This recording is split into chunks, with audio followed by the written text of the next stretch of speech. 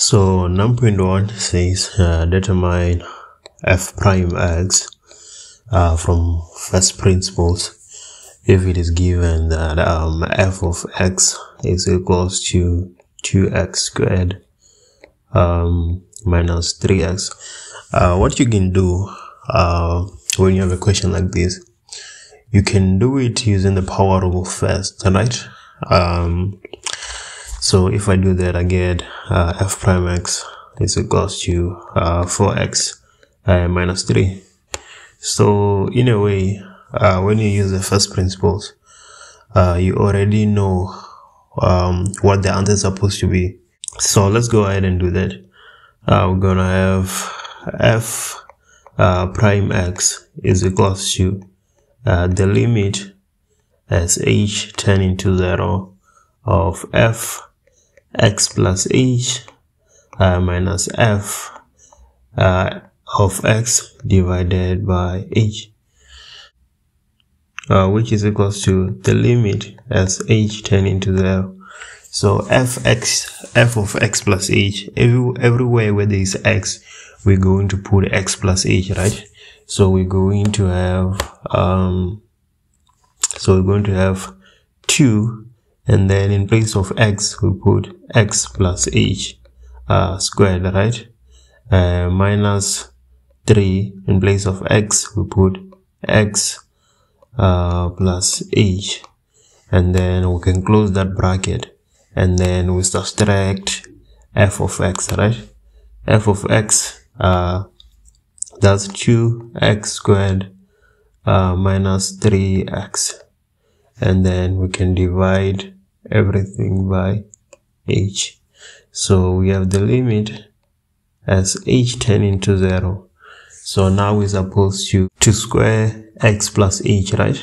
So we're going to have uh, 2 multiplied by um, x multiplied by x is x squared x multiplied by h that's xh multiplied by 2 is plus 2xh and then h multiplied by h that is just h squared um, minus minus 3x uh, minus uh, 3h and then we subtract uh, f of x from everything. So we're gonna have 2x squared minus 3x and then we divide everything by h right?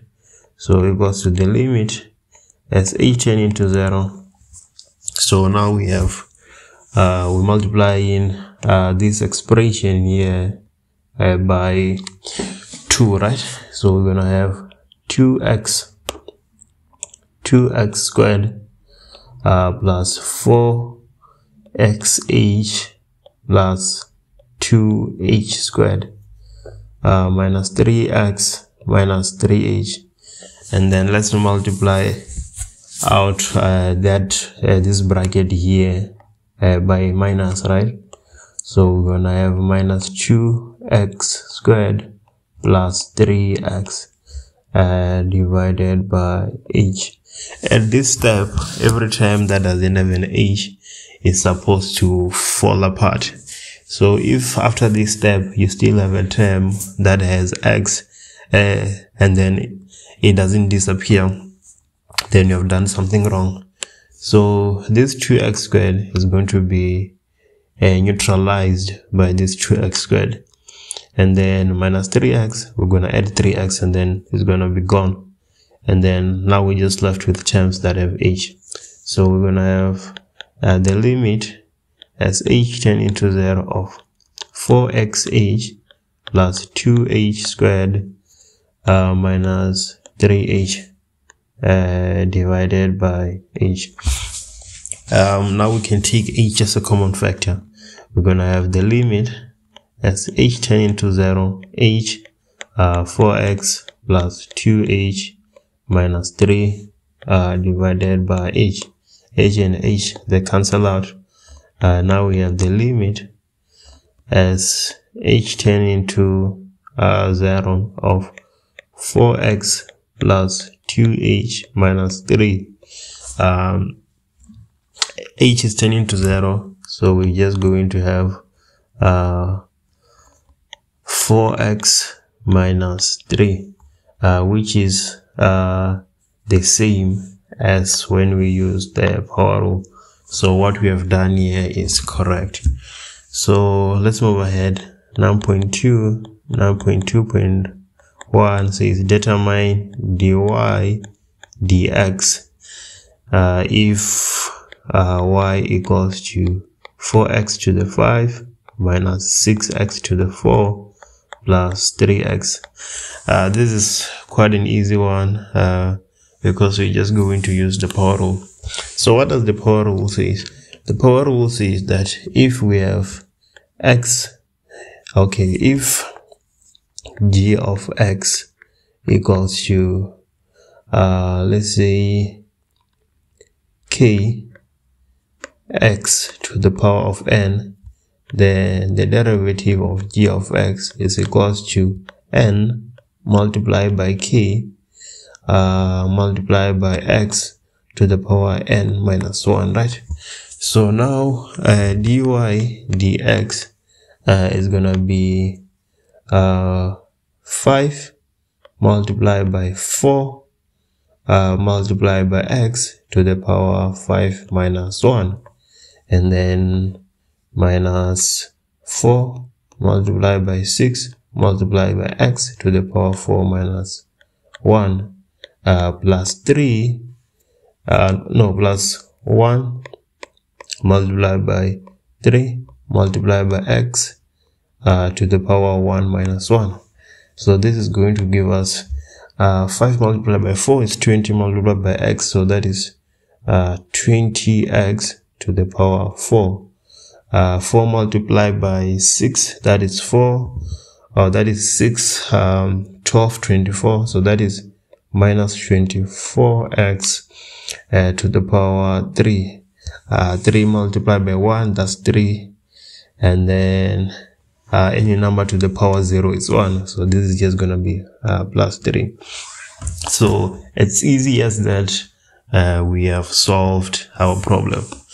Uh, now let's move to 9.2.2. We have the derivative of uh, dx of uh, minus 3 uh, there and then. Okay let me just copy that down real quick. Um, okay uh, divided by 3x to the power 2 so there we have that expression there right? So uh, there's a square there. Uh, 1 divided by 3x is being squared. So um, that's something to note. We're gonna take care of that. So okay. We're gonna uh, take out that cube root there. So we're gonna have uh, minus x to the power 1 divided by 3 uh, divided by 2 and then plus uh, 1 squared divided by 3x squared right? 3x squared is gonna be 9x squared. So um there isn't much left to do here on this term we're just gonna derive it but then this term uh, we still have to write it in the standard format so that we can use the power rule right so we have um, minus 1 over 2 multiplied by x to the power uh, 1 over 3 uh, plus. Uh, now the x is on the denominator, right? If we put it on the num numerator, then uh, the exponent uh, changes sign, right? So now we're gonna have uh, 1 divided by 9 instead of x at the denominator is coming to the numerator. So we're gonna have uh, x to the power minus 2 right? Instead of 2 uh, so if you derive this we're gonna have uh, 1 over 3 multiplied by minus 1 over 2 x to the power 1 divided by 3 minus 1 uh, plus um, minus 2 multiplied by 1 divided by 9 x to the power minus 2 minus 1 uh, this is equals to uh, 1 uh, by multiplied by 1 by minus 1 that's just minus 1 uh, 3 multiplied by 2 that is just 6 x and then 1 over 3 uh, minus 1 that's uh, minus 2 over 3 so we're gonna have minus 2 over 3 um, and then we have minus 2 divided by 9 x to the power uh, minus 3 right? Yeah now uh, we have derivated our our equation but then we cannot leave it with uh, negative exponents because that's not how we found it. Now we have to take it back. And doing that we had uh, minus 1 uh, divided by 6 multiplied by x. It had a negative sign. Now the sign becomes positive right? 2 divided by 3 minus 2 divided by 9x uh, instead of minus 3 now it's just 3 right? And then this is our uh, d of x